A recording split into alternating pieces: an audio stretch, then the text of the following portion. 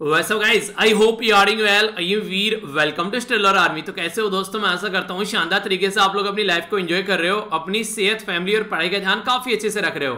तो आज है संडे संडे को फंडे बनाते हुए थोड़ा सा स्टडी डे भी बनाएँगे, पर लेकिन आज का जो लेक्चर है, वो स्टार्ट करेंगे फादर्स डे से। जब मैं देख रहा था फादर्स डे के बारे में तो मेरे सामने जो है, अभी वो गाना आ गया, दंगल मूवी का। बापू सेहत के लिए तू तो हानिकारक है। देखिए नॉर्मली आप लोगों ने देखा होगा जो पेरेंट्स होते हैं उसमें मैक्सिमम जो मतलब जो एक परसेंटेज की बात कर रहा हूँ ऐसा नहीं कि सबके ऊपर ये इंप्लीमेंट होगा। मतलब कि जैसे कि मदर होती हैं तो उनका प्यार ज़्यादा दिखाई देता है फादर का प्यार ज़्यादा दिखाई नहीं देता है। तो इसलिए फादर थोड़े से टाइट लगते हैं। ऐसा लगता है कि जैसे कि, कि एक तरीके से कि पिटाई हो जाएगी मतलब डर लगता है काइंड kind ऑफ़ of, आप लोगों ने देखा होगा। पर लेकिन आप लोग अगर नॉर्मली देखेंगे चीज़ों को समझ के तो एक चीज़ आप लोगों को यहाँ पर समझ में आएगी कि वो चीज़ हमेशा आप लोगों के फ़ायदे के लिए होती है, ताकि लाइफ में आप लोग डिसिप्लिन रह सको लाइफ में आप लोग अपने मुकाम को अचीव कर सको। कोई भी फादर जो है, वो एक ऐसा इंसान होता है, देखिए दो ही इंसान इस धरती पर आप लोग बोल सकते हैं, एक तो माता पिता उनको मैं एक काउंट करूँगा, ठीक है? और दूसरे हैं टीचर ये दो इंसान इस धरती पर ऐसे होते हैं, जो अगर जिनको पढ़ाते हैं, वो उनसे ऊपर जाए, उनको खुशी होती है, और माँ बाप अपने बच्चों को अपने से ऊपर ओहदे पर देखना चाहते हैं तो उनको खुशी होती है।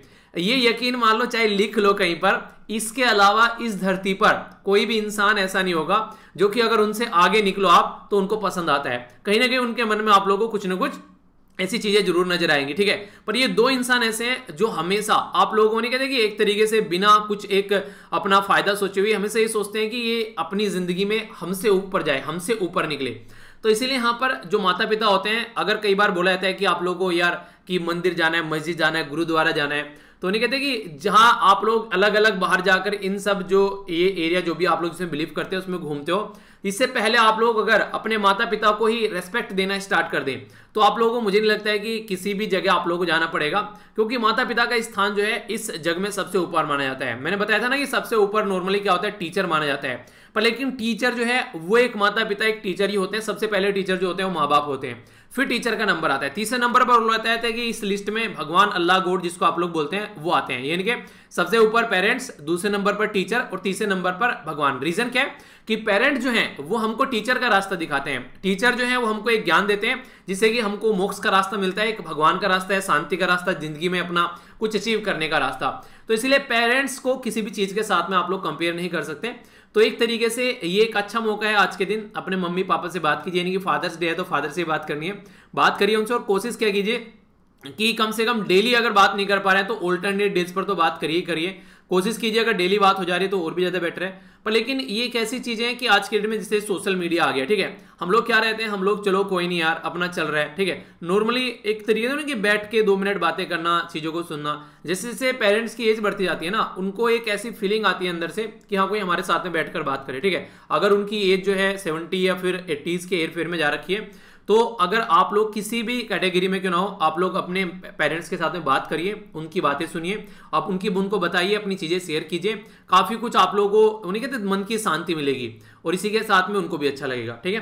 तो आई होप कि आप लोग समझेंगे तो कौन कौन अपने फादर से और मदर से बात करने वाला है, आज नीचे कमेंट बॉक्स में बताइएगा। बाकी यहाँ पर ये काफ़ी इंपॉर्टेंट एक पर्सनैलिटी है रिसेंटली अभी न्यूज़ में है तो पहचानो कौन तो पहचानो कौन कौन टेक्स्ट में देखता हूँ कौन कौन बताता है, ये है कौन। अभी ये रिसेंटली न्यूज़ न्यूज़ में काफ़ी ज़्यादा है और इनके आने से अभी यहाँ पर यूएसए की जो नहीं कहते कि एक दिक्कतें बढ़ने वाली है। अब आप लोग बताइए, चलिए कौन है ये? इतना बोल दिया, अब आप लोग समझिए किसके बारे में बात कर रहा हूँ। आज ही के न्यूज़पेपर से दो क्लिप है यहाँ पर ये, जो मुझे रियलिटी में सोचने के लिए थोड़ा सा मजबूर कर गई। देखिए, आप लोगों ने देखा होगा लाइफ में दिक्कतें आ रही हैं प्रॉब्लम आ रही है। किसकी लाइफ में दिक्कतें नहीं होती हैं? उन्हें उसका बॉर्डर मूवी का डायलॉग मथुरा दास किसकी लाइफ में दिक्कत नहीं होती?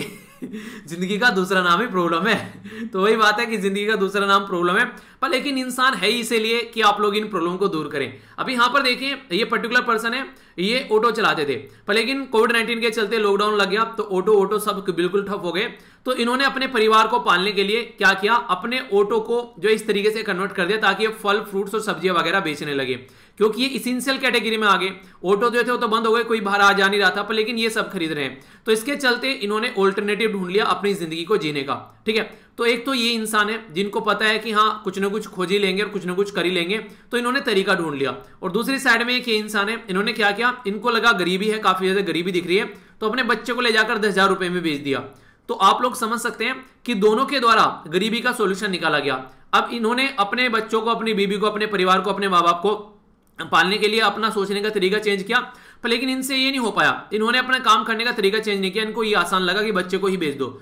तो यार, हर एक प्रॉब्लम के कई सारे सोल्यूशन आप लोगों को लग सकते हैं, पर लेकिन आप लोग कौन सा फॉलो करते हैं? उसी से आप लोगों की लाइफ जो है वो सही डायरेक्शन में चलना स्टार्ट होगी, ठीक है? आज मैंने आप लोग कुछ बातें बता दी, एक कुछ बच्चे ऐसे हैं जिन्होंने आज ही इंप्लीमेंट कर दी, आज से ही आंसर राइटिंग स्टार्ट कर दिया, आज से ही जो है ऑब्जेक्टिव टाइप क्वेश्चन प्रैक्टिस करना स्टार्ट कर दिया। हो सकता है कि कम करें, पर लेकिन कर दिया आज से फिर आराम आराम से उसको बढ़ाना स्टार्ट कर दिया। तो ये तरीका होता है काम को करने का। अगर आप लोग टेंशन में आ गए कि हाँ यार नहीं, ये क्या हो गया, ये हो रहा है, उसका तरीका ढूंढो कि कहाँ से क्या क्या कर सकते हैं। थोड़ा सा आउट ऑफ़ द बॉक्स जाकर सोचो तो सोल्यूशन आप लोगों को आसपास ही नज़र आ जाएँगे। जैसे कि यहाँ पर आप लोग देख सकते हैं। तो पर्सनली मुझे काफ़ी मोटिवेशन मिला यहाँ पर इस चीज़ को देखकर कि दिक्कत को देखने का नज़रिया चेंज करो, आप लोगों को तुरंत सोल्यूशन मिलना स्टार्ट हो जाएगा। आप लोग क्या रहे बताइए आप लोग। आगे बात करें यहाँ पर। अभी बेसिकली बात की जा रही है यहाँ पर प्राइम मिनिस्टर मोदी साहब के द्वारा। जम्मू एंड कश्मीर के अंदर जो 14 यहाँ पर जो लीडर हैं पार्टीज़ के, उनको बुलाया गया है और उसके चलते यहाँ पर भी बात की जाएगी क्योंकि जब 5 अगस्त 2019 में हमारी कंट्री में आर्टिकल जो आर्टिकल 370 और 35 ए के अंदर चेंज किया गया था और एक स्टेट को यूनियन टेरिटरी बनाया गया, तब से लेकर यहाँ पर कोई प्रेजेंट गवर्नमेंट नहीं है। यूनियन की टेरिटरी यानी कि एक तरीके सेंट्रल गवर्नमेंट के अंडर में सब कुछ चल रहा है यहाँ पर। तो अभी ये पोलिटिकल पार्टी जाकर मिलेगी और देखेंगे क्या क्या सोल्यूशन निकाला जा सकता है। तो एक टर्म बार बार यहाँ पर आती है गुपकर अलायंस तो इसको आप लोगों को याद रखना है, कोई कंफ्यूजन आप लोगों के माइंड में नहीं होना चाहिए। बेसिकली यहाँ पर इसके बारे में दो डिक्लेरेशन आप लोगों को देखने को मिलेंगे। पहला डिक्लेरेशन 4 अगस्त 2019 में आया, जिसमें बेसिकली मैसिव डिप्लॉयमेंट जब किया गया सिक्योरिटी फोर्स का और टूरिस्ट को वहाँ से हटाया गया। तो उसके ऊपर डिस्कशन किया गया, और उसकी चलते यहाँ पर फिर दूसरा जो ये डिक्लेरेशन आया यह बाईस अगस्त को, जब सब कुछ यहाँ पर पलट दिया। Article three seventy thirty five A इसी के साथ में संविधान खत्म, एक नॉर्मल स्टेट बना दिया कंट्री का। तो गुपकर अलायंस बनाया किस लिए गया? ये चाहते हैं कि आर्टिकल थर्टी फाइव और थर्टी थर्टी फाइव और थ्री सेवेंटी जो है, उसको फिर से इंप्लीमेंट किया जाए। जम्मू एंड कश्मीर का कॉन्स्टिट्यूशन फिर से आए और रिस्टोरेशन हो फिर से स्टेट यूनियन टेरिटरी से हटाकर। तो इन मुद्दों पर ये बात कर रहे हैं और ये गांधी जी का जो फिलोसफी है, वो फॉलो कर रहे हैं। यानी कि जो नहीं कहते कि नॉन वायलेंस वाला फंडा कि हम लोग प्रोटेस्ट करेंगे तो ये जो प्रेसिडेंट है नेशनल कॉन्फ्रेंस के, वो बेसिकली यहाँ पर आज के में इसको गुपकर अलायंस को लीड कर रहे हैं। तो अभी यहाँ पर ये जो गुपकर अलायंस है, ये प्राइम मिनिस्टर मोदी साहब के पास में जाने वाला है, क्योंकि उनको सबको एक फॉर्मल इन्विटेशन मिला है कि जाकर बात किया जाए और जम्मू एंड कश्मीर को कैसे आगे लेकर चलना है, इसके ऊपर डिस्कशन किया जाएगा। तो उसके बाद में, अभी यहाँ पर असेंबली के इलेक्शन भी होंगे, उसके बारे में आगे बात की जाएगी कि हाँ किस तरीके से, देखिए, चीज़ों को लेकर चलना है, क्योंकि जब यहाँ पर डिवाइड कर दिया गया, अभी दो यूनियन टेरेटरी यहाँ पर बन गई, जैसा आप लोगों ने देखा। तो अब यूनियन टेरेटरी जब अलग अलग बन गई है तो अब ये भी देखना पड़ेगा कि कैसे यहाँ पर इलेक्शन कंडक्ट कराने ठीक है? तो ये सारी चीज़ें आप लोगों को यहाँ पर नज़र आएगी। तो इसी के चलते एक और इसी से रिलेटेड यहाँ पर न्यूज़ यहाँ पर ये बात की जा रही है जे एंड के के अंदर डीलिमिटेशन के बारे में। तो डीलिमिटेशन कमीशन यहाँ पर बनाया जाता है। उसके चलते ये देखा जाता है कि किस एरिया में कितनी पॉपुलेशन रहती है। उस पॉपुलेशन में से कौन कौन सी कॉन्स्टिट्यूएंसी क्रिएट की जा सकती है, जहाँ पर इलेक्शन को कंडक्ट कराया जा सके। क्योंकि इस यूनियन टेरिटरी के बाद में आप लोग के कंट्री के अंदर आप लोगों को देखने को मिलेगा कि तीन यूनियन टेरिटरी हो जाएगी जहाँ पर खुद के चीफ मिनिस्टर होंगे। पहली ऑलरेडी आप लोगों ने देखा अभी पुंडीचेरी में भी इलेक्शन हुए। दूसरी, दिल्ली में चीफ मिनिस्टर अरविंद केजरीवाल बैठी हैं। और तीसरी, अभी जे एंड के हो जाएगी, जिसके पास में खुद की असेंबली होगी। यानी कि यहाँ पर आप लोगों को इनकी खुद की विधानसभा देखने को मिलेगी, जिसमें चीफ मिनिस्टर होंगे इलेक्टेड लोगों के द्वारा यहाँ पर ये गवर्नमेंट आप लोगों को देखने को नज़र आएगी। तो उसी के लिए, ताकि आगे चलकर इलेक्शन कंडक्ट यहाँ पर कराया जा सके तो डिलिमिटेशन कमीशन यहाँ पर बनाया गया। उसी तरीके से क्या क्या चीज़ें, किस एरिया में कितनी कॉन्स्टिट्यूंसी बनानी है असेंबली के लिए भी और पार्लियामेंट के लिए भी किसनी कॉन्स्टिट्यूंसी को कैसे क्रिएट करना है तो उसके में यहाँ पर ये बात करेगा। अगर हम लोग प्रेजेंट टाइम पर बात करें, हमारी कंट्री में जो लोकसभा के इलेक्शन के लिए जो डिलिमिटेशन आने वाला है, वो आने वाला है 2026 के अंदर में। इसीलिए हमारी कंट्री में नई पार्लियामेंट की बिल्डिंग बनाई जा रही है, क्योंकि उस टाइम पर लोगों की संख्या बढ़ेगी यहाँ पर तो और ज़्यादा मेंबर ऑफ़ पार्लियामेंट यहाँ पर आने वाले हैं। तो उसी के चलते वो सारी चीज़ें हैं। लास्ट टाइम डिलिमिटेशन कमीशन कब आया था, इसके बारे में आप लोगों को बताइए। पहले आप लोगों से डिस्कस कर चुका हूँ, आप लोगों को थोड़ा रिविजन भी हो जाएगा, ठीक है? इंपॉर्टेंट क्वेश्चन है एग्ज़ाम में बनने के चांसेस हो सकते हैं आप लोगों के लिए। आगे चलते हैं। यहाँ पर ये एक इंपॉर्टेंट पॉइंट आप लोगों से बन सकता है। अभी बोला जा रहा है कि ऐसा नहीं है कि कोविड नाइनटीन चला गया। है मैंने अभी बात भी की थी आप लोगों से कि कुछ लोग एक्सपेक्ट कर रहे हैं कि थर्ड वेव भी आने वाली है। क्योंकि रीजन ये चल रहा है कि जिस एक्सपेक्टेशन के साथ में काम किया गया था, वो फुलफिल नहीं हो पा रहा है। मेडिसिन बोला गया था, सबको लगा दी जाएगी। अभी काफ़ी कम जनता को हमारी मेडिसिन मिल पाई है। अगर ध्यान से देखोगे तो थ्री पॉइंट समथिंग के करीब आई थिंक जो है टोटल मेडिसिन मिल पाई है। Three point six percent medicine हम लोग अभी पॉपुलेशन को फुल्ली वैक्सीनेट कर पाए। यानी कि हमारी कंट्री में अभी साढ़े तीन प्रतिशत जनता जो है, वो फुल्ली वैक्सीनेट हो पाई है। किसी को अभी एक डोज मिला है और किसी को एक भी डोज नहीं मिला है। तो यहाँ पर मैं भी उस कैटेगरी में हूँ कि मैंने अभी कोई भी डोज अभी नहीं देखने को मिला, यानी कि अभी मैं बिना डोज के बैठा हूँ। बाकी आप में से किस किसने दवाई लगवा ली, आप लोग बताइएगा। यहाँ पर पहले उन लोगों को दवाइयाँ मिल जाए, ज़्यादा बेटर रहेगा, जिनकी ज़्यादा रिक्वायरमेंट है, ठीक है? जो ऑलरेडी अपना हस्त पुष्ट है ठीक ठीक अपना एक्सरसाइज कर रहे हैं, खाना पीना सही है, वो थोड़ा बाद में भी लगाएँगे तो चल जाएगा। पर लेकिन जिनकी वनरेबिलिटी ज़्यादा है, जिनकी एज ज़्यादा है, पहले उनको दवाइयाँ मिल जाए तो ज़्यादा बेटर रहेगा। तो उस तरीके से, और आप लोग कोशिश कीजिएगा, अगर आप लोग थोड़ा सा पैसा भी कमा रहे हैं ठीक ठाक अपना तो अपनी दवाई जो है प्राइवेट से लगवा लीजिएगा, क्योंकि गवर्नमेंट के ऊपर ज़्यादा बर्डन न पड़े तो ये भी आप लोग एक स्टेप उठा सकते हैं। मैंने कहते हैं कि देश के लिए कुछ करना है तो ये भी एक छोटा सा कॉन्ट्रीब्यूशन भी बहुत बड़ा एक तरीके से कॉन्ट्रीब्यूशन होगा देश के लिए अगर बोला जाए। सबसे ज़्यादा अपनी जनता को वैक्सीनेट कर पाए यहाँ पर लगभग सिक्सटी परसेंट के करीब, वो है इसराइल दूसरे नंबर पर है यूके ठीक है, ये लगभग फोर्टी फाइव परसेंट के करीब आप लोग को देखने को मिला फिफ्टी परसेंट के करीब। फिर यूएसए तीसरे नंबर पर ब्राज़ील है, चौथे पर, पाँचवें पर है रशिया छठे नंबर पर इंडिया आप लोग को देखने को मिलेगा यहाँ पर, ठीक है? तो इस तरीके से काफ़ी सारे फुल्ली वैक्सीनेट कर पा रहे हैं और चाइना आप लोग को यहाँ पर नज़र ही नहीं आएगा, क्योंकि चाइना कुछ डेटा बता ही नहीं रहा है। वहाँ कौन मर रहा है, कौन ज़िंदा है मतलब दवाई दे भी रहे हैं, नहीं दे रहे हैं, वो एक ऐसी कंट्री है आज की डेट में, जिसके बारे में कुछ बोलना भी सही नहीं रहेगा। मतलब कि पता नहीं क्या चल रहा है, कोरोना आया, गया, कहाँ से निकला, कहाँ को गया किस किस को दवाई दी, कितने लोग मर गए, कुछ नहीं पता है। तो इसी के चलते अभी बोला गया कि थर्ड वेव आए, आप लोगों को तैयार रहना पड़ेगा। बोला कि आत्मसंतुष्ट न हो कि हाँ वेव चली गई है, अभी थर्ड वेव आ सकती है। तो सेंट्रल गवर्नमेंट ने बोला है स्टेट गवर्नमेंट यूनियन टेरिटरीज को कि अपने हथियार लेकर तैयार रहे। ये इंपॉर्टेंट क्वेश्चन जो यहाँ पर बन सकता है, वो ये है यहाँ पर। अगर कोई भी डॉक्टर के खिलाफ कुछ करता है, किसी डॉक्टर को असोल्ट करता है, किसी डॉक्टर के खिलाफ अभद्र व्यवहार करता है तो यहाँ पर अभी बोला गया कि उनके खिलाफ केस रजिस्टर किया जाएगा। किसके तहत? एपिडेमिक डिज़ीज़ अमेंडमेंट जो एक्ट है यहाँ पर 2020 तो इसके तहत अगर कोई डॉक्टर के साथ में हेल्थ जो वर्कर प्रोफेशनल के साथ में कुछ करता है, आप लोगों ने देखा होगा, कई बार यहाँ पर मारते, पीटते वो सारी हरकतें देखने को मिली। तो उसको रोकने के लिए ये एक स्टार्ट यहाँ पर चीज़ें की गई हैं। अप्रिशिएट करने लायक मूव है यहाँ पर ये, क्योंकि डॉक्टर जो है, अगर उन्हीं को हम लोग इस तरीके से ट्रीट करेंगे तो इस बीमारी के साथ में कैसे लड़ेंगे? तो ये चीज़ें थोड़ी समझनी पड़ेगी। नेक्स्ट जो न्यूज़ यहाँ पर निकल कर आ रही है, आसाम से। आसाम को अगर आप लोग मैप में देखना चाहते हैं तो नॉर्थ ईस्ट का हमारी कंट्री का एक राज्य है यहाँ पर, अरुणाचल प्रदेश, नागालैंड, मणिपुर, मिजोरम, त्रिपुरा और यहाँ पर हो गया मेघालय, ठीक है? और यहाँ पर ये बेसिकली राज्य जो है ये टच करते हुए आप लोगों को नज़र आएँगे आसाम को। इसी के साथ में आसाम को वेस्ट बंगाल भी टच करता है, ये याद रखना, ठीक है? क्वेश्चन बन जाता है। और इधर बात करिए तो म्यांमार के साथ में मिजोरम, मणिपुर और नागालैंड और अरुणाचल प्रदेश। चार राज्य टच करते हैं, क्योंकि म्यांमार काफ़ी न्यूज़ में याद रखेगा। आसाम के अंदर क्या किया जा रहा है? पॉपुलेशन को कंट्रोल करने की कोशिश की जा रही है तो इसके चलते इनके द्वारा बोला गया कि आने वाले टाइम में यहाँ पर अभी जो फर्टिलिटी है, हालाँकि वो डिक्रीज हुई है, यानी कि बच्चे पैदा जो हो रहे हैं पहले के कंपेयर में, पहले 2.2 बच्चे पैदा होते थे, ठीक है? अब 1.9 हो गए इसका मतलब ये कि डेढ़, दो, पौने दो बच्चे पैदा हो रहे हैं। इसका मतलब ये कि लोग जो है वो कम बच्चे पैदा कर रहे हैं, ऐसा बोल सकते हैं, आज की डेट में। तो ये एक इंपॉर्टेंट बात है। दूसरा यहाँ पर जो बोला गया है वो ये है कि अभी फ़िलहाल जिसके दो बच्चे होंगे, ठीक है, उनको यहाँ पर अलाउ किया जाएगा इलेक्शन में वोट डालने वो इलेक्शन में क्या कहते हैं उसको इलेक्शन लड़ने के लिए बेसिकली ठीक है? जिनके दो बच्चे होंगे। गवर्नमेंट जॉब के लिए आप लोगों को देखने को मिलेगा, या सिविक जो बॉडी है, उनके लिए इलेक्शन जो लड़े जाते हैं, पंचायत के लिए इलेक्शन जो लड़े जाते हैं, इससे ये रहेगा, कम से कम उन लोगों के ऊपर अगर चीज़ें इंप्लीमेंट हो जाती हैं, जो हमारी कंट्री में जो बेसिकली इलेक्शन लड़ रहे हैं तो या फिर जनता के ऊपर भी इंप्लीमेंट करना आसान रहेगा। इसी के साथ में ऑल इंडिया यूनाइटेड डेमोक्रेटिक जो फंड है, उसके द्वारा यहाँ पर नेशनल फैमिली हेल्थ सर्वे के हिसाब से, जो कि यहाँ पर रिलीज़ किया गया था ministry of health and family welfare के हिसाब से, इन चीज़ों को इंप्लीमेंट किया जा रहा है, ठीक है? इसी के साथ में बोला जा रहा है जो माइग्रेंट मुस्लिम पॉपुलेशन है स्टेट के अंदर में तो उनको भी यहाँ पर बेसिकली इसको फॉलो करना पड़ेगा। तो उसके चलते यहाँ पर ये स्पीडी इंप्लीमेंटेशन की बात करें ताकि जनता को पॉपुलेशन को कंट्रोल किया जा सके, ठीक है? तो यहाँ पर ये एक फंडा है जिसके बारे में याद रखेगा आगे बात करते हैं, ये काफ़ी रिसेंटली अभी न्यूज़ में रहा जब वेस्ट बंगाल के अंदर इलेक्शन हुए। तो वेस्ट बंगाल के अंदर जैसे ही इलेक्शन हुए तो यहाँ पर ये सबसे ज़्यादा जो न्यूज़ में आया वो था वेस्ट बंगाल के अंदर जो भी दंगा देखने को मिला। तो उसी के चलते अभी यहाँ पर ये न्यूज़ है। तो इसके बारे में कुछ बातें करते हैं, आखिर क्या क्या कंडीशन देखने को मिली और यहाँ पर ऑर्गेनाइजेशन के बारे में आप लोगों से बात करूँगा, जिसका नाम है नेशनल ह्यूमन राइट कमीशन अभी हुआ क्या है कोर्ट के द्वारा यहाँ पर बेसिकली इसको गाइड किया गया कि आप लोग देखिए कहाँ कहाँ पर क्या क्या दंगे फसाद देखने को मिले। तो उसके चलते यहाँ पर नेशनल ह्यूमन राइट कमीशन को बोला गया हाईकोर्ट के द्वारा, कोलकाता हाईकोर्ट के द्वारा। तो इसके बारे में अगर बात करें नेशनल ह्यूमन राइट कमीशन के बारे में तो कुछ बेसिक इंफॉर्मेशन आप लोग याद रखेगा नेशनल ह्यूमन राइट कमीशन हमारी कंट्री में जो क्रिएट किया गया था, ये ये यहाँ पर 1993 में क्रिएट किया गया था, ताकि जनता के जो राइट है उनको प्रोटेक्ट किया जा सके। 2006 में इसमें अमेंडमेंट किया गया। अभी फ़िलहाल अगर बात करें, ये 25वीं सालगिरह इसकी सेलिब्रेट की गई 2018 में। तो ये इसका हेडक्वार्टर न्यू दिल्ली में आप लोगों को देखने को मिलेगा।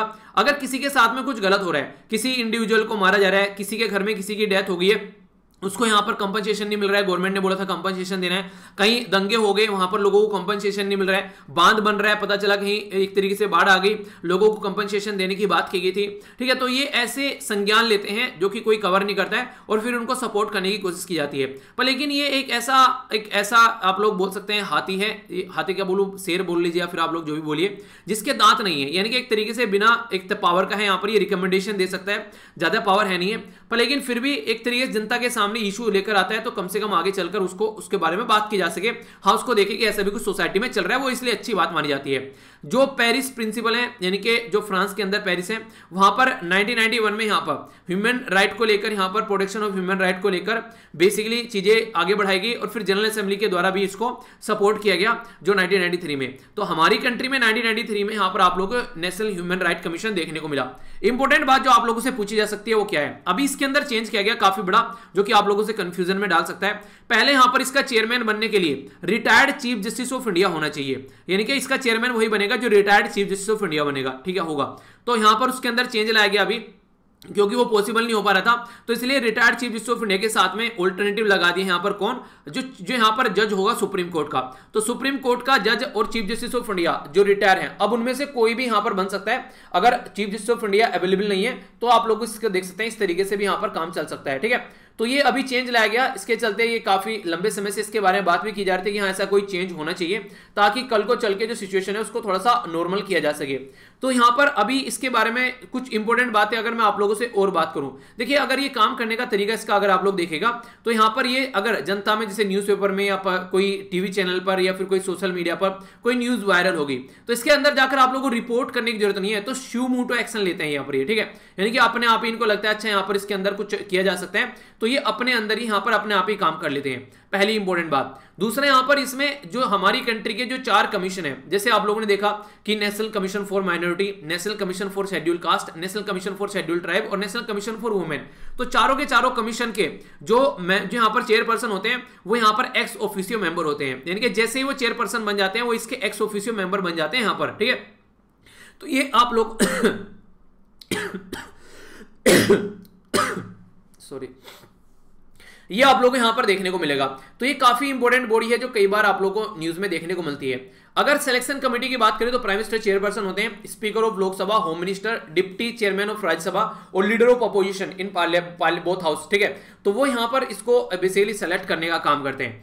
तो ये कुछ प्रोविज़न है इसके बारे में जो कि आप लोग याद रख सकते हैं। और अच्छी बात यहाँ पर यह कि अगर ये बॉडी रहती है तो जनता के बारे में अगर बात की जाए, उनके साथ कुछ गलत होता है तो उसको रोकने की ये कोशिश करती है, ठीक है? इसमें जो टेन्यूर है, वो कितना होता है, ये आप लोग बताइए। इनके जो मेंबर हैं और जो इसके जो चेयरपर्सन है, ये आप लोगों के लिए क्वेश्चन है ओके आइए अब आगे चलते हैं नेक्स्ट न्यूज़ की ओर।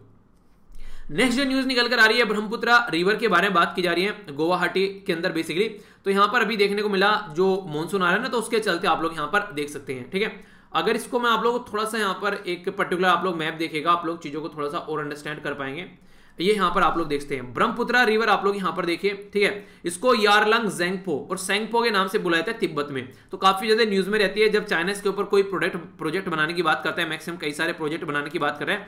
इसलिए माना जाता है कि यहाँ पर इंडिया के अंदर जो पानी का फ्लो है, वो काफ़ी कम हो जाएगा। ये ब्रह्मपुत्रा रिवर, ये तिब्बत के अंदर यारलंग जेंगपो या फिर सेंगपो के नाम से जानी जाती है।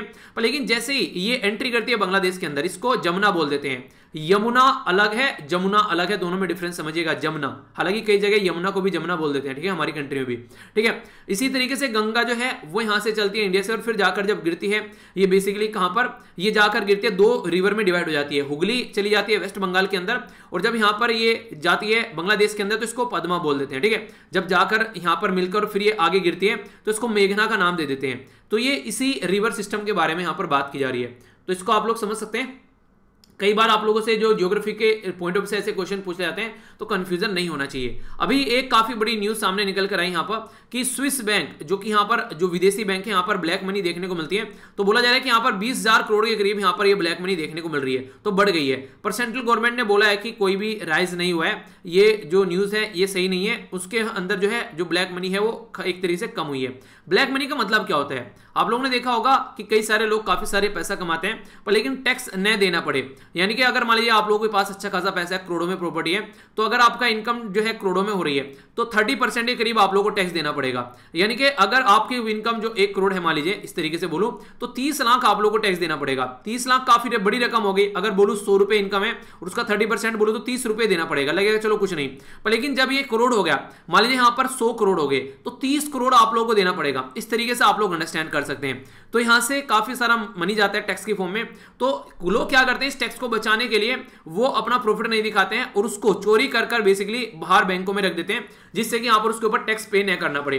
तो इसके चलते यहाँ पर इसके बारे में आप लोग समझ सकते हैं, ठीक है? बाकी काफ़ी दुखद घटना देखने को मिली कल यहाँ पर, जो कि आप लोगों के सामने भी निकल कर आई। मैंने इसके ऊपर एक वीडियो बनाई थी छोटी सी।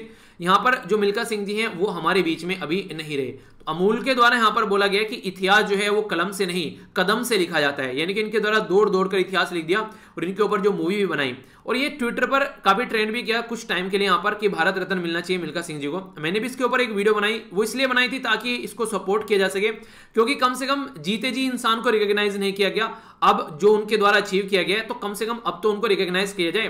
पर लेकिन यार देखिए, अगर किस, कभी भी किसी इंसान को भारत रत्न देना है तो मुझे ये लगता है कि उस इंसान को, जिंदे को भारत रत्न दे देना चाहिए। ताकि वो उसके द्वारा जो अचीवमेंट किए गए हैं लाइफ में, उसके द्वारा जो भी काम किए गए हैं अपनी ज़िंदगी में, वो उनको कम से कम अप्रिशिएट जो कर रही है सोसाइटी उसको देख कर जाए। अब मरने के बाद में उनको रिकॉग्नाइज किया जा रहा है। चलिए सही है रिकॉग्नाइज किया जा रहा है, कोई दिक्कत नहीं है, पर लेकिन ज़िंदा रहने के बाद में उसकी वैल्यू ज़्यादा रहेगी। आप लोग क्या रहे हैं? अभी हमारी कंट्री में कई बार ध्यानचंद साहब को भारत रत्न देने की बात की जाती है। एक महान पर, एक महान पर्सनैलिटी उनको बहुत पहले भारत रत्न मिलना चाहिए था अब तक उनको नहीं मिला। तो ये ऐसी चीज़ें हैं कुछ जो कि कुछ हैं चीज़ें कई बार पॉलिटिक्स के कई बार भारत रत्न और ये सारे अवार्ड होते हैं। इनके नाम पर भी पॉलिटिक्स खेली जाती है चलो उसको दे देते हैं ठीक है? तो वो सारी चीज़ें देखने को मिलेगी।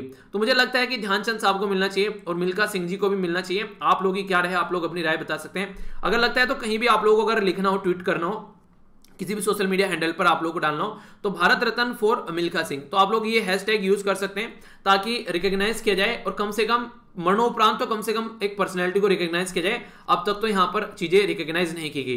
पर लेकिन फिर भी तसल्ली देने वाली बात हो जाती है यार, वरना पहले ही मिलनी चाहिए थी सारी चीज़ें। आगे बात करें, ये आप लोगों से क्वेश्चन पूछा सकता है एग्ज़ाम में और राजस्थान से अगर आते हैं तो आप लोगों के लिए और भी इंपॉर्टेंट है। और वुमेन इंपावरमेंट के बारे में बात करें तो वुमेन सामने निकल कर आ रही है, इसलिए और भी ज़्यादा इंपॉर्टेंट हो गया। बात क्या की जा रही है यहाँ पर? यहाँ पर बात की जा रही है हरित मातृभूमि, यानी कि जो ज़मीन है उसको हरित बनाने की बात की जा रही है, यानी कि ग्रीन बनाने की बात की जा रही है। तो इसके चलते इनके द्वारा जो world day world day to combat desertification यानी कि जो मरुस्थलीकरण है, उसको रोकने की बात इनके द्वारा की गई। तो उसके चलते पेड़ पौधे यहाँ पर लगाए जा रहे हैं। तो ये जो पेड़ पौधे लगाने की बात की गई तो यहाँ पर इनके द्वारा पाँच हज़ार इक्यावन सौ के करीब लगभग यहाँ पर पेड़ लगाने की बात की गई। जिसके चलते राजस्थान में जो है पेड़ लगाने से काफ़ी ज़्यादा फ़ायदा देखने को मिलेगा। उसको हरित कोशिश बनाने, हरित एरिया बनाने की कोशिश की जा रही है। तो आप लोगों से यहाँ पर क्वेश्चन भी पूछा जा सकता है इसके बारे में कि किस राज्य की है यहाँ पर ये हरित मातृभूमि जो कि ग्रीन करने की कोशिश की जा रही है लैंड को। तो आप लोग राजस्थान से आते हैं तो आप लोगों के लिए और भी इंपॉर्टेंट यहाँ पर हो जाता है। तो ये राजस्थान का जो चुर डिस्ट्रिक्ट है उसमें आप लोगों को देखने को मिलेगा तारानगर वाले एरिया में। अभी यहाँ पर यूएन अवार्ड के बारे में बात करें तो किसके अध्यक्षता में सारे पेड़ लगाए गए? तो याद रखिएगा श्याम सुंदर जो जैनी है, इनका, इनको याद रखिएगा, इनको रिसेंटली अभी इसी साल जो है, अभी यहाँ पर लैंड फॉर लाइफ जो अवार्ड दिया गया है लैंड फॉर लाइफ ये अवार्ड ऑफ़ यूएन का होता है जिसके द्वारा जो इनको दिया गया तो इनकी अध्यक्षता में यहाँ पर ये सारा पेड़ वगैरह लगाने का काम चला है, ठीक है? तो इन पर्सनैलिटी से और अवार्ड से भी आप लोगों से क्वेश्चन पूछा जा सकता है। अभी अगर आप लोगों से बात करूँ, मैंने आप लोगों से डे भी डिस्कस किया था, हमारी जो नैनो मैगजीन वाली वीडियो आती है उसके अंदर में तो ये जो है इसके अंदर हम लोगों ने देखा था world day to combat desertification यानी कि जो ड्रोथ है, मरुस्थलीकरण है, उसको रोकने की बात की जाती है। यानी कि ऐसी ज़मीन नहीं, ज़मीन ऐसी होनी चाहिए तो ही यहाँ पर पृथ्वी के लिए अच्छी है यहाँ पर ये। और इसकी जो थीम है बेसिकली यहाँ रिस्टोरेशन लैंड और रिकवरी तो ये थीम है, इसको तो कम से कम याद रखिएगा आप लोग आर एल आर करके, पर लेकिन इसमें ये भी ऐड कर सकते हैं वी बिल्ड यहाँ पर बात की जा रही है we build back better with healthy land ठीक है? तो पूरी थीम ये वैसे आप लोग ये भी याद रखिए तो कोई दिक्कत नहीं है। तो ये सेवनटीन ऑफ़ जून को सेलिब्रेट किया जाए ताकि अगर सूखा कहीं पड़ गया है, मरुस्थलीकरण कहीं पर हो गया है तो उसके बारे में बात की जा सके और कुछ मेथड खोजे जा सके कि इसको कम कैसे करना है। क्योंकि अगर ज़मीन ऐसी होनी स्टार्ट हो गई तो उस पर खेत खलियान नहीं रहेंगे, वहाँ पर हम लोग अपना जो बेसिकली एग्रीकल्चर नहीं कर पाएँगे। तो कैसे काम चलेगा, कैसे लोगों की पूर्ति हम लोग कर पाएँगे तो वो सारी चीज़ें ध्यान में रखते हुए ये ज़रूरी है कि हम लोग इन चीज़ों को ध्यान में रखकर आगे बढ़े, ठीक है? आप लोग ही क्या राय है, आप लोग बताएगा बाकी क्वेश्चन अगर बने एग्ज़ाम में तो कंफ्यूज आना आप लोग को नहीं है। जो इंपॉर्टेंट बात है, अगर आप लोग पेड़ लगाते हैं, कहीं पर भी आप लोगों को लगता है आप लोगों ने पेड़ लगाए तो hashtag S army planting tree ये भी आप लोग हैश टैग यूज़ कर सकते हैं, क्योंकि अभी फ़िलहाल जो है, ये एक तरीके से जो अभी जो मौसम चल रहा है, जैसे जून, जुलाई, अगस्त, सितंबर, ये मानसून का पीरियड है, अगर पेड़ लगाकर आप लोग छोड़ भी देंगे, अगर पानी भी नहीं देंगे तो आप लोगों को पता है अभी भी मॉर्निंग में बाहर बारिश हो रही है, ठीक है? तो आप लोग को देखने को मिलेगा कि काफ़ी हद तक पेड़ जो है, वो उगने के चांसेस हो जाते हैं। उसके यानी कि पेड़ लगाओगे तो उसके चांसेस ज़्यादा बढ़ जाते हैं कि हाँ वो पेड़ जो है, वो पनप जाए, यानी कि चल जाए। तो अगर आप लोग इस टाइम पर पेड़ लगाएँगे तो ज़रूर लगाएगा। और अगर पेड़ लगाते हैं तो अवेयरनेस ज़रूर फैलाइएगा। तो ये आप लोग हैश यूज़ कर सकते हैं एस आर्मी प्लांटिंग ट्री ठीक है? पूरा एक ही जगह है यहाँ पर S L V A R M Y P L N T I N G T R double E अगर आप लोग ऐसा कुछ करते हैं तो मुझे टैग कीजिएगा at the rate Veer Taliyan पर, जहाँ भी आप लोग करते हैं। फिर मैं उसको स्टोरी में या फिर ट्विटर पर फ्लेट में या फिर इंस्टाग्राम पर स्टोरी में शेयर करूँगा, ताकि ज़्यादा से ज़्यादा अवेयरनेस हम लोग और फैला सकें, ठीक है? तो ये एक अच्छा तरीका है, कई सारे लोगों के द्वारा कईयों पेड़ पौधे लगाए गए, मुझे काफ़ी अच्छा लगा पर्सनली और अगर बात करें सस्टेनेबल डेवलपमेंट गोल के बारे में आप लोगों से पूछे जाए तो लाइफ ऑन लैंड तो सस्टेनेबल डेवलपमेंट गोल पंद्रवा यहाँ पर इसी चीज़ के बारे में बात करता है, जो कि आप लोग देख सकते हैं, ठीक है? तो ये इससे रिलेटेड भी आप लोग अगर लिखने को आए जाए थोड़ा सा याद रखिएगा। आगे बढ़ते हैं अब यहाँ पे। ये आप लोगों को देखने को मिलेगा, जब यहाँ पर रक्षा करने वाला ही भक्षक बन जाएगा तो कैसे काम चलेगा? एक कांस्टेबल साहब थे यहाँ पर, उनके द्वारा क्या किया गया? एक particular 35 year old cab driver थे, उनकी जान ले ली गई, कार चलाते हुए शराब पीकर उनको ठोक दिया जाकर, ठीक है? तो ऐसी दुर्घटना, अगर शराब पीनी नहीं है पहले तो क्योंकि ऑलरेडी बहुत बर्बाद ऑलरेडी लोगों को मरने के ऑलरेडी बहुत सारे तरीके हैं, कोरोना मार रहा है, बीडी सिगरेट पी लो तो यहाँ पर पोल्यूशन मार रहा है, ठीक है? ये सारी चीज़ें आप लोग देखते हैं, बीमारी दुनिया भर की है, ऊपर से शराब पीने की और कसर रह जाती है तो इसकी वजह से दूसरे की भी जान ले ली यहाँ पर। तो ये काम अगर किसी को करना है तो घर पे बैठ कर करा जाए तो ज़्यादा बेटर है। बाहर वरना कहीं नाली में गिरे फिरेंगे, कुछ और चीज़ें देखने को मिलेगी। तो ये सारी चीज़ें हैं जो सही नहीं लगती हैं। आगे बात करें तो यहाँ पर बात की जा रही है दिल्ली को एक बहुत शानदार तरीके से डेवलप करने की बात की जा रही है। तो मास्टर प्लान जो दिल्ली है, मास्टर प्लान फॉर दिल्ली ये है 2041 तो 2041 तक दिल्ली में क्या क्या होगा? तो यहाँ पर बात की जा रही है कई सारी चीज़ों की। एक तो सबसे इंपॉर्टेंट बात यहाँ पर यह भी मैंने आप लोगों से डिस्कस किया twenty four by seven Delhi को ओपन करने की बात की जा रही है, ताकि दिल्ली में रात ही ना हो कंप्लीटली यहाँ पर चीज़ें चलती रहें। इसी के साथ में यहाँ पर कोशिश की जा रही है कि आने वाले टाइम में जो इन्वायरमेंट के पॉइंट ऑफ़ से ध्यान रखा जाए काफ़ी अच्छे से। अभी बात की जा रही है कि साइकिलिंग वगैरह या फिर किसी को पैदल चलना है तो उसके लिए भी नेटवर्क यहाँ पर तैयार किया जाएगा आने वाले टाइम में। यानी कि पूरा डेवलपमेंट इस तरीके से लेकर चलना है कि आगे चलकर फिर से कोई पेंडेमिक आता है तो लोग वर्क फ्रॉम होम कर सकें तो उसके लिए पूरी फैसिलिटी आप लोग को देखने को मिलेगी। तो काफ़ी अच्छे से डेवलप करने की कोशिश की जा रही है दिल्ली को। तो ये अभी प्लान यहाँ पर निकल कर आया, हालाँकि अभी डीडीए के द्वारा इसको अप्रूवल नहीं मिला है दिल्ली डेवलपमेंट अथॉरिटी के द्वारा। तो देखते हैं फिर आगे कैसे चीज़ें बढ़ पाती हैं। इस प्लान को लेकर कैसे आगे चल पाते हैं। बाकी काफ़ी कुछ रहेगा कि कैसे जो मैनेज करना है, जो भी यहाँ पर, जो कि, जो वेस्ट वगैरह निकल के आता है, पानी को कैसे सही तरीके से लेकर चलना है। तो बहुत सारा ऐसा मुद्दा रहेगा कि एक सही तरीके से डेवलप किया जाएगा। अब कितना हो पाता है कथनी और करनी में फ़र्क कितना देखने को मिलेगा तो बा, बा, बाद में आगे पता चलेगा। अभी यहाँ पर बात करते हैं नेशनल ग्रीन ट्रिब्यूनल के द्वारा बोला गया नजफगढ़ जो लेक है। नजफगढ़ लेक यहाँ पर दिल्ली के अंदर आप लोगों को देखने को मिलेगी। तो कई बार कई सारी लेक के नाम देते हैं पूछ ले जाते हैं तो पोल्यूशन की वजह से यहाँ पर ये न्यूज़ में आ गई है अभी। एक और है नेशनल ग्रीन ट्रिब्यूनल के द्वारा यहाँ पर बात की जा रही है मेका धातु प्रोजेक्ट के बारे में। तो पहले नेशनल ग्रीन ट्रिब्यूनल के बारे में थोड़ी बात कर लेता हूँ, फिर मेका धातु प्रोजेक्ट के बारे में हम लोग बात करेंगे। नेशनल ग्रीन ट्रिब्यूनल आप लोग नाम से ही देखिए इसको बोलते हैं नोट शॉर्ट फॉर्म में आप लोग एनजीटी के नाम से आप लोग इसको जानते हैं। एनजीटी हमारी कंट्री एक ऐसी बॉडी है जो कि इन्वायरमेंट से रिलेटेड जो भी मैटर होते हैं, उनके बारे में बात करती है। यानी कि अगर कोर्ट में वो मैटर जाएँगे तो लंबे समय तक पड़े रहेंगे, पर लेकिन इनका कोशिश ये रहती है कि छह महीने के अंदर अंदर केस को निपटा दी जाए ताकि चीज़ें आगे बढ़ सके। तो नेशनल ग्रीन ट्रिब्यूनल हमारी कंट्री में एक स्टेचुटरी बॉडी है एनजीटी, जो कि एक एक्ट आया था दो हज़ार दस में जिसके द्वारा इसको बनाया गया था। ये जो बॉडी है यहाँ पर हमारी कंट्री में बेसिकली अगर आप लोग बोले कि कौन से आर्टिकल के तहत निकल के आती है तो जब पार्ट थर्ड में आप लोग जाएँगे तो आप लोगों को फंडामेंटल राइट देखने को मिलेंगे। इसमें आर्टिकल बारह से लेकर आर्टिकल पैंतीस तक है। तो इसमें से आर्टिकल इक्कीस जो है, वो एनजीटी के बारे में बात कर रहे हैं। और ये क्वेश्चन जो है, ये कई सारे एग्जामों में रिपीटेडली क्वेश्चन ये पूछा गया है। यानी कि कौन से आर्टिकल से एनजीटी निकल कर आता है? कई बार आप लोग आर्टिकल दे देंगे, कई बार पार्ट पूछ रहे हैं, कौन से पार्ट से एनजीटी निकल कर आता है। ठीक है, आप लोग को बोल देंगे कि प्रोटेक्शन ऑफ़ द जिस तरीके से बोल देंगे protection of the life and liberty फिर दूसरा कोई आर्टिकल दे देंगे। तो उसके बारे में बोल देंगे तो ऐसे भी डायरेक्ट क्वेश्चन पूछा जा सकता है। तो ये हेल्दी इन्वायरमेंट के बारे में बात करते हैं। तो लाइफ एंड लिबर्टी तो तभी रहेगी ना, जब इन्वायरमेंट अच्छा रहेगा, पता चला वैसे ही पोल्यूशन की वजह से मर गए आधे लोग। तो वो वाली चीज़ें नहीं होनी चाहिए। तो यहाँ से निकल कर आता है। पर लेकिन हमारी कंट्री में कहाँ से आया? यूएन ये निकलकर इसके बारे में एनजीटी के बारे में अगर आप लोगों से कोई बात करें तो इसके बारे में आप लोगों से अगर कोई बात करें तो यहाँ पर आप लोग देखेगा कि यूएन की जो कॉन्फ्रेंस थी इन्वॉर्मेंट और जो डेवलपमेंट से रिलेटेड ठीक है? तो उससे यहाँ पर निकल गया। UN conference on environment and development तो 1992 में ये कॉन्फ्रेंस हुई थी, ठीक है, जहाँ से ये निकाल कर लेकर आया। सबसे पहले ये बनाया गया था ऑस्ट्रेलिया और न्यूजीलैंड के द्वारा, और इसके बाद में हमारी कंट्री जो थी वर्ल्ड में, वो तीसरे नंबर की कंट्री बन गई थी, ये एनजीटी को बनाने वाली। एनजीटी की जो प्रिंसिपल ब्रांच है, वो आप लोगों को न्यू दिल्ली में देखने को मिलेगी। इसका जो हेडक्वार्टर बोल सकते हैं। बाकी आप लोगों को पुणे वेस्ट में, भोपाल सेंटर में, और चेन्नई जो साउथ में, और कोलकाता ईस्ट में। तो ये इसकी अलग अलग ब्रांच आप लोग यहाँ पर नज़र आ जाएगी, ठीक है। अभी फ़िलहाल अगर एनजीटी के बारे में बात करें तो इसके चेयरपर्सन कौन है, ये आप लोग को बताना है। तो ये कुछ बेसिक चीज़ें हैं। इसके द्वारा जो काम किया जाता है, वो नेचुरल जस्टिस के कॉन्सेप्ट पर काम किया जाता है। नेचुरल जस्टिस का कॉन्सेप्ट क्या होता है? देखिए, आज की डेट में अगर कोई केस आप लोगों को सोल्व करना है तो कोर्ट में जाएँगे तो कोर्ट के हिसाब से सेज किया जाएगा। पर लेकिन अगर यहाँ पर आप लोगों को सोल्व करना है तो कोर्ट के हिसाब से नहीं, यहाँ पर यानी कि आप लोगों को नेचुरल जस्टिस यानी कि ऐसा नहीं कि जैसे कि सी सी पी यानी कि क्रिमिनल ऑफ़ जो कोर्ट प्रोसीजर है यहाँ पर, ठीक है? तो वो फॉलो करना है, ठीक है? तो तो आप लोगों को criminal of court procedure follow नहीं करना है। जो नाइन ज़ीरो एट का है यहाँ पर नाइनटीन का। आप लोगों को नेचुरल जस्टिस का कॉन्सेप्ट फॉलो करना है। नेचुरल जस्टिस का मतलब ये होता है एक तो बिना सुने आप लोग डिसीज़न नहीं देंगे, यानी कि कोई अगर गिल्टी है तो उसकी सुने ये बात, ठीक है? दूसरा यहाँ पर ये आता है कि आप लोग अगर यहाँ पर अपने ही केस में खुद जज नहीं होंगे, यानी कि पता चला केस भी आपके ऊपर चल रहा है और जज भी आप लोग ही बने बैठे हैं तो वो चीज़ें नहीं होंगी। तो ये सारे कॉन्सेप्ट एनजीटी के बारे में क्वेश्चन ये सारे जो मैंने बताए, अगर आप लोग पुराने पेपर उठाकर देखोगे तो सारे कभी ना कभी किसी न किसी तरीके से क्वेश्चन पूछे जा चुके हैं। तो पाँच, छह से सात क्वेश्चन मैंने आप लोग यहाँ पर कवर कर दिए, जो कि एग्ज़ाम में आप लोगों से पूछे जा सकते हैं, ठीक है? तो ये तो हो गया एनजीटी के बारे में। अब मेका धातु प्रोजेक्ट के बारे में बात करते हैं, जो काफ़ी ज़्यादा न्यूज़ में है। पहले है कहाँ पर ये? ऊपर हो गया कर्नाटका और नीचे हो गया तमिलनाडु। तो कर्नाटका में आप लोगों को देखने को मिलेगा बेसिकली बॉर्डर के पास में मेका धातु। ये जो प्रोजेक्ट है यहाँ पर, इसके चलते क्या चक्कर चल रहा है? तमिलनाडु ये बोल रहा है, ये प्रोजेक्ट नहीं चलना चाहिए, ये इलीगल तरीके से यहाँ पर काम किया जा रहा है। जबकि बोला गया था सुप्रीम कोर्ट का जो डिसीज़न है में, उसके द्वारा बोला गया पानी को कैसे यूज़ करना है। तो कावेरी रिवर के ऊपर बनाया जा रहा है। पहले तो मेका धातु प्रोजेक्ट ये क्वेश्चन बन जाएगा।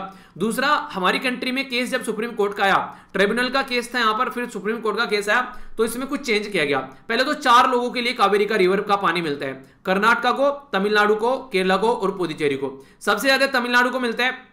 404 जो basically million cubic feet water मिलता है। फिर यहाँ पर दो सौ चौरासी मिलता है किसको? कर्नाटका को। 30 मिलता है यहाँ पर केरला को और सात मिलता है पुदुचेरी को। तो केरला और पुदुचेरी का तो सेम रहा पर चेंज किया गया यहाँ पर कर्नाटका के अंदर और तमिलनाडु के अंदर। तो यहाँ पर तमिलनाडु का कुछ पानी निकालकर कर्नाटका को दे दिया गया और ज़्यादा है। रीजन क्या था? कि बेंगलुरु जो यहाँ पर बेसिकली कर्नाटक के अंदर कैपिटल है, वो एक आईटी हब है। वहाँ पर पानी की रिक्वायरमेंट काफ़ी ज़्यादा होती है और वहाँ पर लेक भी जो है, वो कई बार उनमें आग लगती हुई पाई जाती है पोल्यूशन की वजह से। तो पानी की रिक्वायरमेंट के ध्यान में रखते हैं, यहाँ पर पानी दिया गया। पर लेकिन बात ये रहती है, दिक्कत ये रहती है कि यहाँ पर जो सारा सिस्टम जो भी चेंज करना है तो उसके लिए वोटर कमीशन की जो बॉडी बना रखी है, उससे हिसाब से काम करना चाहिए। पर लेकिन चल नहीं पाता है, कर्नाटका भी यहाँ पर डैम बनाने की बात करें प्रॉपर क्लियरेंस भी नहीं लिया गया तो इसके चलते केस सामने निकल कर आया। तो मेका धातु प्रोजेक्ट के बारे में अगर कोई आप लोगों से पूछ ले तो अब आप लोगों को कंफ्यूजन आना नहीं है, सारी डिटेल मैंने आप लोगों को बता दी, ठीक है? आइए, अब आगे बढ़ते हैं। बात की जा रही है इंडियन एयरफोर्स के बारे में तो हमारी कंट्री में एयरफोर्स की जो चीफ है, यहाँ पर आर के एस बदूरिया, इनके द्वारा बोला गया कि हमारी जो फोर्स है वो तैयार है टैकल करने के लिए चाइना को या फिर पड़ोसी देश पाकिस्तान को। हमारी कंट्री में अभी रफेल वगैरह इंक्लूड किए गए तो उसके चलते हमारी एयरफोर्स जो है वो और ज़्यादा ताकतवर हो गई है। ये सारी जो बात की जा रही है यहाँ पर, ठीक है? तो ये बात की जा रही है दुंदीगल। जो बेसिकली हैदराबाद के अंदर जो एयरफोर्स अकेडमी है। अगर आप लोग डिफेंस की तैयारी अगर आप लोग कर रहे हैं तो ऐसे क्वेश्चन आप लोगों से बन जाएँगे बड़ी फ्रीक्वेंटली कई सारी अकेडमी के नाम देंगे और मैच कर कर पूछ ले जाएँगे, ठीक है? तो ये हैदराबाद यानी कि तेलंगाना के अंदर में तो यहाँ पर हमारी कंट्री के जो एयरफोर्स के चीफ है, उनके द्वारा ये बात की गई आर्मी और नेवी के चीफ कौन है? और इसी के साथ में चीफ ऑफ़ डिफेंस स्टाफ कौन है? तो ये आप लोग बताइए, जो कि पहली बार हमारी कंट्री में पोस्ट क्रिएट की गई। अभी बोला ये जा रहा है कि तीनों को मिलाकर यहाँ पर जो लॉजिस्टिक है, वो एक जगह लाया जाएगा। यानी कि मान लीजिए जो हवाई जहाज़ वाला काम है, ठीक है? अब नेवी में भी हवाई जहाज़ देखने को मिलेंगे एयरफोर्स में भी हवाई जहाज़ देखने को मिलेंगे और आर्मी में भी हवाई जहाज़ देखने को मिलेंगे, यानी कि हेलीकॉप्टर वगैरह। तो क्यों ना इसको चलते, ये सारा जो काम होता है, अगर हवाई जहाज़ से रिलेटेड कोई मैटर है वो सबके लिए एक ही कर दे, ठीक है? अगर कोई ऐसा काम है, यानी कि एक तरीके से अलग अलग रिसोर्सेज यूज़ न करके। मान लीजिए, एक तरीके से आप लोग ये समझिए, अब आज की डेट में घर पे घर में पाँच फ़ोन है, ठीक है? पाँच फ़ोन है और सबके पास में इंटरनेट का डेटा अलग अलग से डलता है। मान लीजिए तीन महीने का डलवाते हैं, चार सौ, पाँच सौ रुपए का आप लोग डलवा लें पाँच सौ रुपए का एक के में डल गया, ठीक है? तो पाँच सौ रुपए का एक के फ़ोन में डल गया, ठीक है? और मान लीजिए घर में पाँच ही मेंबर है, ठीक है? तो इस तरीके से देखिए, ढाई हज़ार रुपए महीने का खर्चा हो रहा है ये, ठीक है? इस तरीके से अगर आप लोग समझिए नॉर्मल तरीके से अगर देखकर चलिए, पर लेकिन अगर घर में एक ही वाईफाई लगा लिया जाए, ठीक है? तो उस वाईफाई से सबका काम चल जाए आराम से तो वो ज़्यादा बेटर रहेगा और यहाँ पर कोई सस्ता सा रिचार्ज करा लीजिए तो ये भी एक ऑल्टरनेटिव तरीका हो जाता है, ठीक है? तो इस तरीके से आप लोग समझ सकते हैं, पर लेकिन हाँ ये कि बाहर जाएँगे तो रिक्वायरमेंट पड़ेगी तो उसी के हिसाब से कोई छोटा मोटा रिचार्ज करा लिया जाए। तो घर में अगर सभी इंटरनेट यूज़ करने वाले हैं तो ये एक अच्छा सोल्यूशन हो सकता है यहाँ पर ये। इसी तरीके से अलग अलग रिसोर्सेज यूज़ अलग अलग जो है, उसी को रिसोर्सेज को रिपीटेडली अगर इस तरीके से देखा जाए कि वही काम एयरफोर्स कर रही है, वही आर्मी कर रही है, वही नेवी कर रही है तो उसको रिपीटेडली को हटाकर क्यों ना एक ही में डाल दिया जाए, ठीक है? इसीलिए जैसे मैं बोलता हूँ, मान लीजिए आप लोगों को मैंने डिस्कस किया कावेरी वाला। पहले भी कई बार डिस्कस कर चुका हूँ यहाँ पर तो कावेरी से रिलेटेड ए फोर साइज़ की सीट पर ही आप लोग एक बार नोट्स बना लीजिए, क्यों जगह जगह आप लोग इसको इकट्ठा करते घूम रहे हैं? तो आप लोगों के नोट्स जो है, वो बिल्कुल ऐसे होने चाहिए, जो छोटे से छोटे हो ताकि रिविजन उसका आसानी से आप लोग कर सकें, ठीक है? तो यह कुछ बातें। बाकी अभी फ़िलहाल बात की जा रही है संघाई कॉर्पोरेशन ऑर्गेनाइजेशन की मीटिंग में बारे में। तो दुस्तानबे के अंदर, यानी कि जो तजाकिस्तान के अंदर ये होने वाली है। तो इसमें हमारी कंट्री की साइड से जो अजीत डोभाल जो है सुपरमैन है इंडिया के तो ये पार्टिसिपेट करेंगे। संघाई कॉर्पोरेशन ऑर्गेनाइजेशन एक Eurasian political economic security alliance है। यूरोप और एशिया की, इसीलिए यूरेशियन बोला गया। हमारी कंट्री इसका मेंबर बनी कब? ये आप लोग याद रखिए क्वेश्चन बन सकता है। 2017 में बनी। दोनों इंडिया और पाकिस्तान दोनों एक साथ मेंबर बने। तो ये क्वेश्चन पूछा जा सकता है, याद रखिएगा। इंडिया और पाकिस्तान के द्वारा संघाई कॉर्पोरेशन को ज्वाइन किया गया। कजाकिस्तान अस्थाना के अंदर जब मीटिंग हो रही थी संघाई कॉर्पोरेशन ऑर्गेनाइजेशन की तो तब दोनों के द्वारा ज्वाइन किया गया। तो अब आठ मेंबर इसके अंदर यहाँ पर हो चुके हैं, ठीक है? पहले यहाँ पर कौन कौन थे? चाइना कजाकिस्तान किर्गिस्तान रसिया और तजाकिस्तान पाँच मेंबर थे यहाँ पर, आज के डेट में टोटल आठ मेंबर हैं। आगे माना जा रहा है कि अफ़गानिस्तान और ईरान में से जल्दी ही कोई मेंबर बनने वाला है, जो ऑब्जर्वर है बेलारूस, अफ़गानिस्तान, मंगोलिया और ईरान। ये चार ऑब्जर्वर आप लोगों को देखने को मिलेंगे। तो इस ऑर्गेनाइजेशन की मीटिंग हो रही है तो इंडिया के जो सुपरमैन है वो यहाँ पर पार्टिसिपेट करने जा रहे हैं। तो इसकी वैसे ही न्यूज़ में आ गया बाकी यहाँ पर वेस्ट बंगाल के अंदर से जो चल रही है काफ़ी लंबे समय से तो गवर्नर को यहाँ से हटाने की बात की जा रही है। तो गवर्नर जो यहाँ पर जगदीप जो धनकर है तो उनको हटाने के लिए वेस्ट बंगाल की चीफ मिनिस्टर कई बार बोली चुके हैं। अब यहाँ पर जो लेफ़्ट है और जो कांग्रेस है, वो भी साथ में आ गए कि यहाँ पर इनको हटाया जाए। यानी कि गवर्नमेंट के साथ में और भी कई सारे लोग परेशान है यहाँ पर इनसे। ये माना जाता है कि यहाँ पर ये इलेक्टेड गवर्नमेंट से ऊपर उठकर अपने आप को दिखाते हैं कि हाँ मैं हूँ जो कुछ भी हूँ। नहीं कहते जैसे अरविंद केजरीवाल साहब का डायलॉग है, दिल्ली के मालिक हम हैं, ठीक है? तो ममता बनर्जी जी बोलती है, वेस्ट बंगाल के मालिक हम हैं, ये गवर्नर के बीच में अड़ा रहे हो तो वही चीज़ें चलती रहती हैं। उत्तर प्रदेश के अंदर इलेक्शन की तैयारी कर चुकी है। अगर आप लोग आई ऑफिसर बन जाते हैं तो आप लोग के पास में चांस है आगे चलकर आप लोग इलेक्शन में भी पार्टिसिपेट कर सकते हैं पॉलिटिक्स में एंट्री कर सकते हैं। जैसे कपिल सिब्बल साहब हो गए, बहुत सारे ऐसे देखने को मिलेंगे जो हमारी कंट्री में पुराने जो सिविल सर्वेंट है, आज के डेट में पॉलिटिक्स में है। तो अगर चाहते हैं आप लोग पॉलिटिक्स में जाना, अगर देश के लिए कुछ अच्छा करना चाहते हैं, और होने भी चाहिए, वहाँ पर पढ़े लिखे इंसान होने चाहिए यार। पढ़े लिखे इंसान रहेंगे, तभी तो चीज़ें अच्छी अच्छी आगे बढ़ेंगे। तो इसी तरीके से आप लोग भी यहाँ पर इन चीज़ों को एंजॉय कर सकते हैं। तो आईएएस ऑफिसर थे यहाँ पर, ये रिटायर हुए उन्होंने पॉलिटिक्स को ज्वाइन कर लिया गया और वाइस प्रेसिडेंट बन गए यूपी में। अभी इलेक्शन होने वाले हैं 2022 में यूपी के अंदर में तो उसी की तैयारी चल रही है। तो उसी के चलते सारी चीज़ें देखने को मिलेगी। ये जो है जिनका नाम है अरविंद कुमार शर्मा। तो ये पर्टिकुलरली देखा जाए तो ये इनके पास में गुजरात कैडर था। तो जब चीफ मिनिस्टर यहाँ पर गुजरात के थे, मोदी जी उस टाइम पर उनके साथ थे, फिर प्राइम मिनिस्टर बन गए, फिर उनके साथ रहे। तो लगभग बीस सालों तक इनके द्वारा उनके साथ में काम किया गया तो अब ये उत्तर प्रदेश में कमान संभालने वाले हैं। तो उसी के चलते इलेक्शन का पूरा तैयारी है। क्यों ये बातें बता रहा हूँ? क्योंकि 80 अकेली सीट लोकसभा की उत्तर प्रदेश से निकल कर आती है। तो जिधर उत्तर प्रदेश बैठ गया, वही पॉलिटिकल पार्टी जीत जाएगी। राज्यसभा की कितनी सीटें उत्तर प्रदेश में बताइए तो जरा, और अपने अपने राज्य में आप लोगों को पता होना चाहिए, ठीक है? तो यहाँ पर राहुल गांधी के बारे में बात की जाए, हालाँकि एग्ज़ाम के लिए कुछ भी इंपोर्टेंस इसकी नहीं है। पर हाँ ये बात मैं आप लोगों को बताना चाहता हूँ। एक बात अगर आप लोग देख पाएँगे यहाँ पर बंदा कुछ हो, चाहे ना हो, जो भी आप लोग बोले मतलब कई सारे लोग, कोई पप्पू बोलता है, कोई कुछ बोलता है, वो एक अलग इमेज क्रिएट कर रखी है। लेकिन एक चीज़ आप लोग को देखने को मिलेगी, पैंतालीस साल के, वो इक्यावन साल के हो गए हैं भाई साहब, पर लेकिन लगते नहीं है, ठीक है? तो अपने आप को फिर भी मेंटेन और फिट किए हुए हैं। तो ये आप लोग सीख सकते हैं, यहाँ पर अपनी हेल्थ का ध्यान रखें ताकि चीज़ें जो हैं वो अच्छे से बनी रहे, क्योंकि हेल्थ इज़ वेल्थ मुझे नहीं लगता है कि हेल्थ से ज़्यादा अच्छी कोई चीज़ है। तो अगर आज की डेट में आप लोग बड़ी एज होने के बाद में भी अपनी एज छोटी दिखा पा रहे हैं तो एक तरीके से ये है कि आप लोग अपनी एज पर, अपनी उस पर हेल्थ पर ध्यान दे रहे हैं। ब्लैक बेल्ट है ये माना जाता है, शायद ये आई थिंक पढ़ा था शायद मैंने कहीं पर ठीक है, इनके बारे में। तो एक तरीके से वो एक अलग बात है कि पॉलिटिक्स में करियर नहीं चल पा रहा है, पर लेकिन पर्सनल लाइफ में फिट है इंसान तो उससे आप लोग कुछ ना कुछ सीख सकते हैं। मोदी जी को देखिए, उन्होंने भी अपनी पिक्चर शेयर की थी वीडियो शेयर की थी योगा करते हैं इस एज में भी आकर अच्छे से। तो आप लोग भी अपनी हेल्थ का ध्यान ज़रूर रखें थोड़ा टाइम तो ज़रूर दीजिए, ठीक है? अभी बात करें तो ईरान के अंदर, अभी यहाँ पर ईरान की अंदर जो है नए प्रेसिडेंट चुनकर आए जिनका नाम है यहाँ पर अब्राहिम अब्राहिम राइसी। तो यहाँ पर जो हसन रूहानी साहब है, वो निकल गए। वो एक मॉडरेट लीडर माने जाते थे।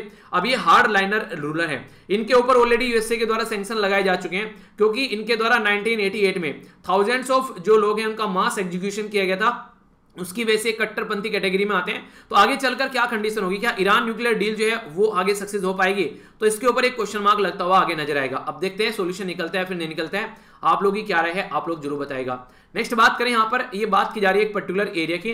देखिए वर्ल्ड हेल्थ ऑर्गेनाइजेशन के हाथ में ये काम होता है कि जहाँ पर कोई बीमारी है, उसका ध्यान रखे, ठीक है? तो गिनी है यहाँ पर ये बेसिकली अगर आप लोग देखते हैं, ये हो गया पर्टिकुलर एरिया अफ्रीका के अंदर में।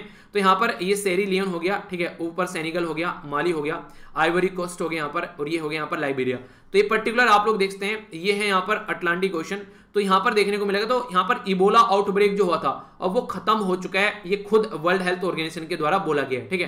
तो इबोला की वजह से काफ़ी लोगों की जान गई थी इस पर्टिकुलर एरिया में, अब उसको बोला गया कि खत्म हो चुका है, ठीक है? तो ये इसके बारे में बात की जा रही है। बाकी इबोला गया तो कोई नहीं, नया आ गया, इसका नाम है कोरोना। कोरोना का नया नया वर्जन देखने को मिल रहा है। जैसे आप लोगों को मोबाइल के वर्जन देखने को मिलते हैं तो अभी यहाँ पर जिसको हम लोग बोलते हैं, हमारी कंट्री में काफ़ी लार्ज स्केल पर देखने को मिला था डेल्टा वेरिएंट जिसको B one six one seven two अभी यहाँ पर इसका एक नया वर्जन आ गया B one six one seven two यहाँ पर वन एक और वन एड जुड़ गया। इसको यहाँ पर डेल्टा प्लस बोला जा रहा है। तो यानी कि एक एक्स्ट्रा वर्जन यहाँ पर आ गया। ए वाई वन भी इसका नाम रखा गया। इसका जो म्यूटेशन है, वो के फोर वन सेवन एंड तो ये काफ़ी खतरनाक साबित हो रहा है यहाँ पर और काफ़ी लार्ज स्केल पर देखने को मिल रहा है। जो बेसिकली यहाँ पर जो बेटा ये माना जा रहा है कि आइडेंटिफाई किया जा रहा है। जैसे कि आप लोग बोल सकते हैं बीटा वेरिएंट था यहाँ पर साउथ जो अफ्रीका के अंदर में गामा वेरिएंट है जो ब्राज़ील के अंदर में तो इसी तरीके से हर एक एरिया में वेरिएंट निकलते हुए नज़र आ रहे हैं। तो global initiative of sharing all influenza data यहाँ से पता चलता है कि किस तरीके से कोरोना वायरस के जीनोम सीक्वेंसिंग बन रहे हैं, ठीक है? तो अराउंड ट्वेंटी कोरोना वायरस के जो जीनोम सीक्वेंसिंग है, यहाँ पर आउट ऑफ़ इंडिया अब तक आप लोगों को देखने को मिले कई सारे एरिया में अलग अलग सीक्वेंसिंग देखने को मिलेगी। यूके में अलग है यूएसए में अलग है। तो ये कोरोना अपने लेवल के हिसाब से अपने आप को म्यूटेट करता हुआ नज़र आ रहा है, ठीक है? तो यानी कहने का मतलब ये है कि कोरोना अपने हिसाब से अपने आप को चेंज कर रहा है। तो इसी के बारे में यहाँ पर ये इंफॉर्मेशन थी, ठीक है? तो ये था टोटल आज का डिस्कशन मैं आशा करता हूँ आप लोगों ने इसको अच्छे से एंजॉय किया होगा। फिर भी अगर लगता है कोई डाउट है तो कमेंट बॉक्स में ज़रूर बताना। और आज कम से कम ये काम ज़रूर करना, अपनी फैमिली के साथ में थोड़ा टाइम व्यतीत करना। वैसे तो हमेशा आप लोग करना चाहिए। बाकी लेक्चर कैसा लगा ये ज़रूर बताएगा। टेन में से कितना आप लोग रेट इस लेक्चर को देंगे? अगर फीडबैक में आप लोगों से पूछूँ। अगर टाइम मिले तो किसी को ज़रूर पढ़ाइएगा। आप लोगों को मन को जो शांति मिलेगी, वो किसी चीज़ के साथ में आप लोग कंपेयर नहीं कर पाएँगे। बाकी पीडीएफ अगर डाउनलोड करनी है तो यहाँ से जाकर डाउनलोड कर लेना। सारी चीज़ें इकट्ठी आप लोग यहाँ पर मिल जाती है और यहाँ पर भी आप लोग कनेक्ट हो सकते हैं। तो नेक्स्ट लेक्चर में मिलता हूँ। बड़ों को नमस्ते, छोटों को प्यार, छोटी सी लाइफ में एंजॉय कर तब तक के लिए जय हिंद।